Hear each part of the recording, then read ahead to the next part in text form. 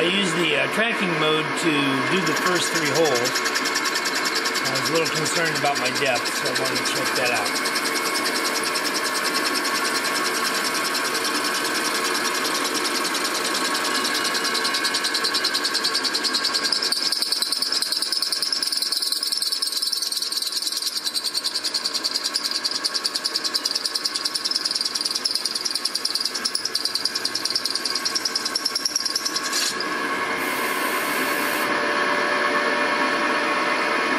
Just speeded up the feed to 74 inches per minute, or 74 millimeters per minute.